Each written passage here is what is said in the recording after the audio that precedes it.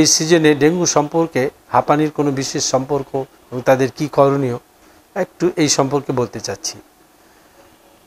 Classical dengue যেগুলো আগে dengue classically হয়, তাদেরকে কিন্তু কোনো সময় নাক দিয়ে পানি পড়া, শ্বাসকষ্ট অথবা হাঁপানির যে সমস্ত সমস্যাগুলো হয়, সেগুলো দেখতে পাওয়া যায় না। হ্যাঁ কিন্তু যাদের আগের থেকেই আমরা বলি অ্যালার্জিক রাইনাইটিস, নাক দিয়ে পানি পড়া অভ্যাস আছে অথবা শ্বাসকষ্ট আছে। অথবা এই দুটার সম্পর্ক আমরা অ্যালার্জিক উইথ অ্যালার্জিক ব্রঙ্কাইটিস আছে। তাদের যে হে- ডেঙ্গু হবে না এমন কোনো কথা নাই। তাদেরও ডেঙ্গু হতে পারে। তারাও এই ডেঙ্গুর সিমটম ডেঙ্গুর সব ধরনের সমস্যার সঙ্গে শ্বাসকষ্ট এবং হাঁপানি থাকতে পারে।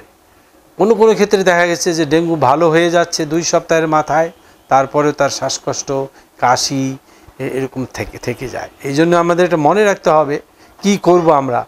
আমরা সোজা কথা আমরা বলব যে হাঁপানি হাঁপানির জন্য চিকিৎসা হবে, ডেঙ্গু ডেঙ্গুর জন্য চিকিৎসা হবে। হ্যাঁ তবে আমাদের ডাক্তার সাহেবরা অথবা আমরা যারা পরামর্শ যাদের কাছে নিব, তাদেরকে বলতে হবে স্যার, আমার হাঁপানি, এখন তো ডেঙ্গু হয়েছে, কিন্তু আমার আগে থেকে হাঁপানি আমি ইনহেলার ব্যবহার করি অথবা আমার নাক বন্ধ থাকে, আমি শ্বাসকষ্টের ওষুধ ব্যবহার করি। এটা তাদেরকে বলতে হবে। এই এই বিশেষ সম্পর্কে কেউ কোনো ধারণা এমন রাখা যাবে না না, স্যার, আমার তো এবার ডেঙ্গু হয়েছে, শ্বাসকষ্ট কখনই হইতে পারে না, এমন কোনো ধারণা নেই। আমরা এখনও এরকম গবেষণা চালিয়ে যাচ্ছি, অন্যান্য ভাইরাল ইনফেকশন যেমন ইনফ্লুয়েঞ্জা মেজেলস এগুলো হলেও তাদের এরকম নাক দিয়ে পানি পড়ে হ্যাঁ? এবং তাদেরও এরকম র্যাশ হয়, এবং তাদের এরকম হাঁপানি জাতীয় রোগ অবশ্যই হয়।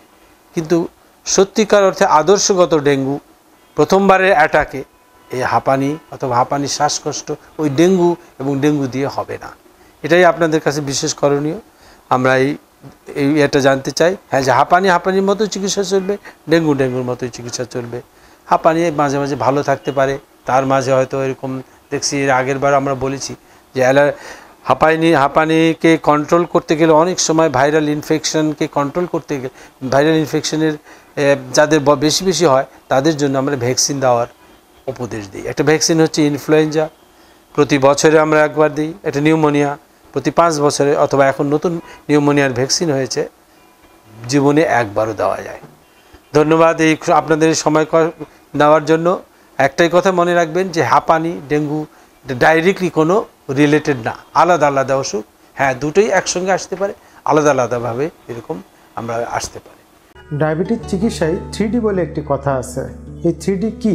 থ্রি মূলত ডায়েট, ডিসিপ্লিন এবং ড্রাগস। আপনি কীভাবে ডিসিপ্লিন মেনে চলবেন, আপনি কি ওষুধ গ্রহণ করবেন এবং আপনার খাবার দাবারের নিয়ম কেমন হবে, এ বিষয়ে সঠিক পরামর্শ দিতে পারবেন ডায়াবেটিস রোগ বিষয়ে অভিজ্ঞ একজন চিকিৎসক।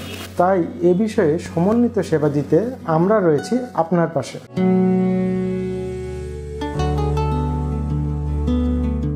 আপনাদের স্বাস্থ্য বিষয়ে সচেতন করার জন্যই আমাদের এই আয়োজন। তাই প্রতিনিয়ত স্বাস্থ্য বিষয়ে বিভিন্ন টিপস পেতে আমাদের চ্যানেলটি সাবস্ক্রাইব করুন এবং বেশি বেশি লাইক ও শেয়ারের মাধ্যমে সবাইকে আমাদের সঙ্গে সংযুক্ত হবার সুযোগ করে দিন।